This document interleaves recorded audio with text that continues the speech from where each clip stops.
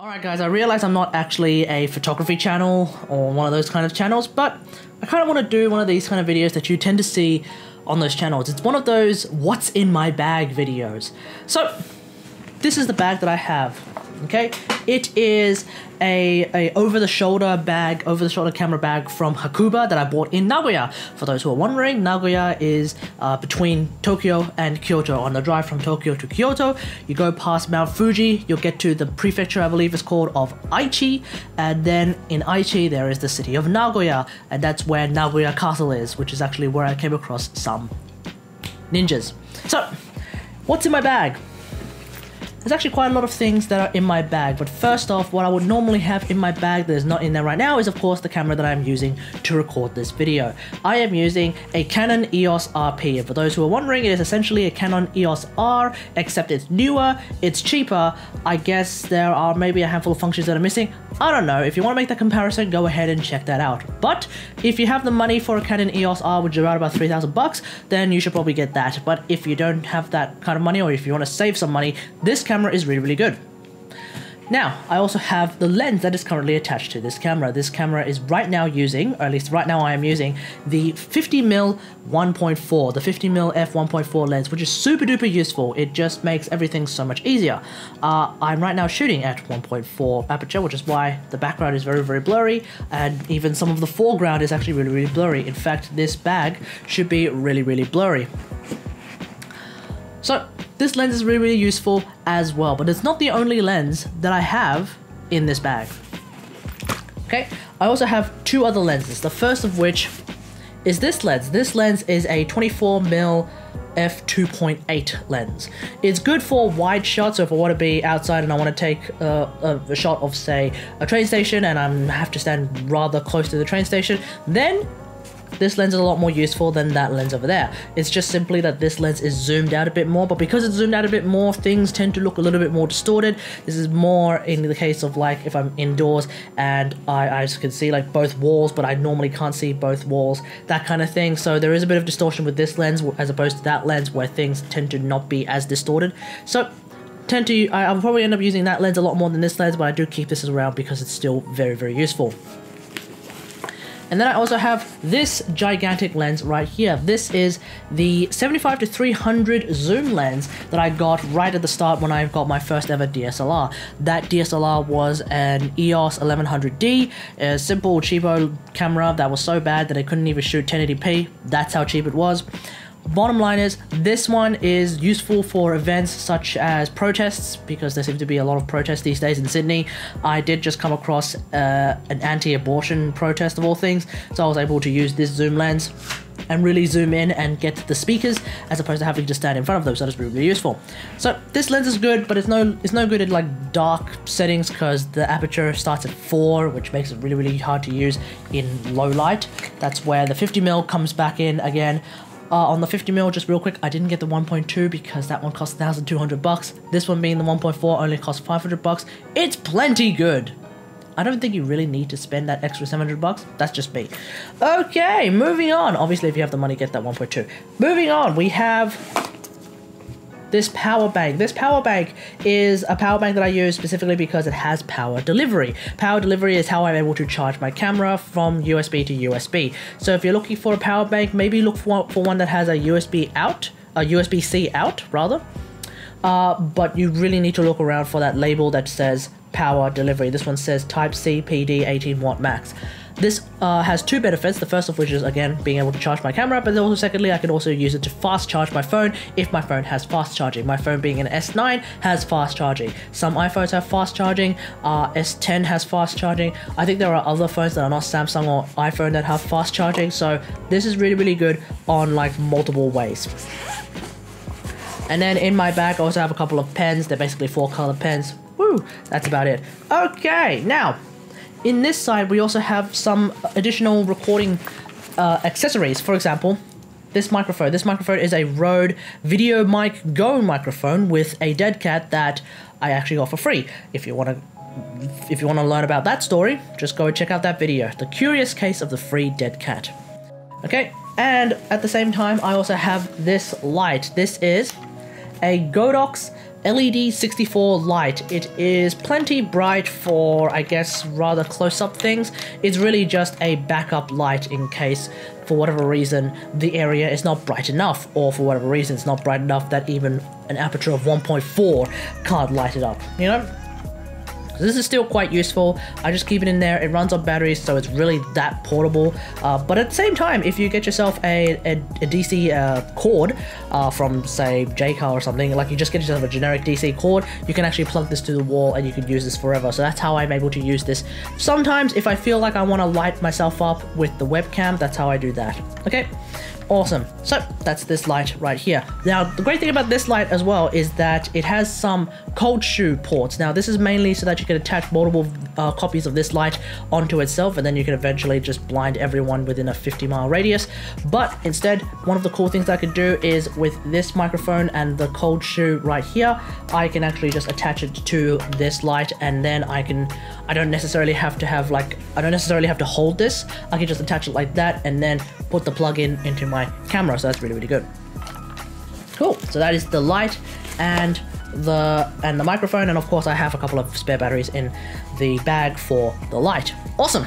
Now, in this section is a bunch of accessories. For example, we have a wired lapel mic. This is a Rode wireless microphone. Oh, not wireless. This is a Rode wired microphone. Uh, it's useful for just talking in general because it doesn't have some of the problems that the Rode video mic has. For example, if they're too far away, it does get a little bit noisy. And this microphone is less sensitive to echo, I find. So this is very, very good for when I'm just out and about.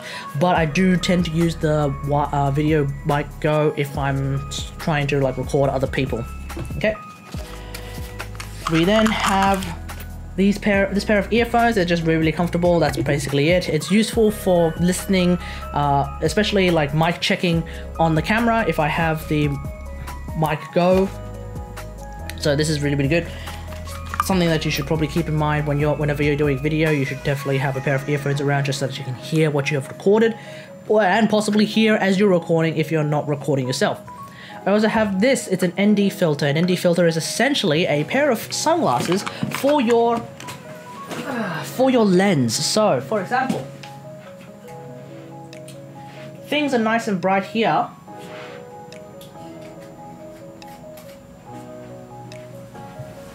and with this ND, ND filter, things are no longer as bright.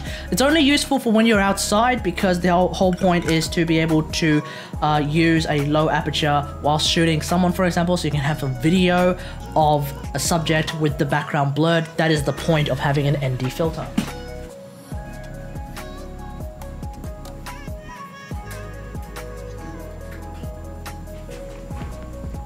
Among other things, of course. Uh, I actually have come back and bought myself a variable ND filter, so that one's a lot more useful than this one being an ND8. This ND8 is actually Canon's ND8, and I have since then gone ahead and bought this ND filter, a variable ND filter from Hoya, of all people. And the way this works is, if you can see sort of how it's sort of sort of gray at the moment, but then if I turn it, it gets darker. Gets brighter, gets darker. That, and that's a variable ND filter. It's a lot more useful overall. The only problem is this one, I can't actually screw a lens cap onto it, whereas the ND8 filter, I can screw a lens cap onto it, so just keep that in mind whenever you're buying an ND, an ND filter. Uh, might be something you want to keep an eye on because it's really just useful um, to be able to just stick your lens cap on top of the ND filter so that you don't have to switch and swap and do all that kind of stuff. Alright, two things fell out of my bag. The first of which is a 3-in-1 USB card reader. This one's super duper useful. It's a lot better than those card readers that have a wire attached to them. I find that they fail real quick and they also don't seem to like my phone. This one seems to like my phone quite a lot because one side is a USB-C port the other side is a USB regular, i.e. Type A port, but then if you just press at the bottom of the Type A port, and then just sort of pull this out, you might not be able to see it, but this is a USB mini sorry, micro USB port. This is super duper good. It's just so useful for like all sorts of things, whether it be trying to figure out if my photos and or videos look any good on a bigger screen, or if, for example, a client, I guess, uh, wants their photos immediately on their phone, then I can actually just give it to their phone, just immediately without hesitation. So that's really, really good. Uh, it takes micro USD, uh, micro SD rather, micro SD and SD cards. So my phone, uh, my camera uses an SD card. There are some cameras out there that use CFast cards. So unfortunately, this is not the thing for you. But when I was buying this in Japan, I bought this in Kyoto. When I bought this in Kyoto, there were other versions that were taking in CFast cards. Cool. And then I have this bubble, uh, bubble level thing. It's actually a three bubble level thing, which is kind of useful. It has a cold shoe port, so you could attach this either to your camera or like my microphone, I could attach this to my light. So I could just do that. I could do that and I would have it on top of my light and I could figure out what is level and what is not. But ever since I realized that my camera comes with a digital leveling sort system, the kind of system that you would find on an airplane uh, at, at the pilot's desk, I actually don't use this anymore. So I just use the digital leveling thing instead. I find that a lot more, a lot more efficient to just use that instead of using this. And then finally we have the caps for the backs of both the lens and the front of the camera. So if I were to take out the lens completely and not have anything on my camera, then I would just be using this to be the caps. That's just stock standard stuff. Uh, I have a spare battery as well, which is currently charging. That's really, really useful. And I have, this is of course the wire for the video mic go. Cool. I believe that's all of that stuff. And then finally, just in the front, we have a couple of random bits and pieces. I have uh, some business cards of all things, which I don't seem to use all that much. I have the label for this bag. It's called the Luft Design from Hakuba, the Brothers Shoulder Bag, for a grand total of 3,980 yen. That comes out to around about $56 thereabouts, Australian. Uh, and then I have three wires. The first of which is a USB to USB Type C. This is useful for charging the power bank uh, with a wall plug or charging uh, my phone. Then I also have a USB to USB micro, actually micro USB. This is also useful for charging my earphones. And also having these two means that I can charge both my phone and my earphones at the same time uh, with the just the regular ports on my power bank. And then finally I have the big Type-C to Type-C, which is useful primarily for charging my phone. Uh, sorry, for charging my camera, and then of course also for fast charging my phone uh, via USB Type-C, because the USB-C port is of course the power delivery port. Unfortunately, the EOS RP is unable to connect to the camera via USB like that. You have to use the card reader or some card reader. Anyway, that's everything in my bag. Managed to get this down to 13 minutes as opposed to 27 last time, so that's really, really good. Let me know what you think about all of this in the comments below. If you like this video, hit that like button, subscribe for more stuff. And until next time, I'll see you guys later. Thanks for watching. Bye.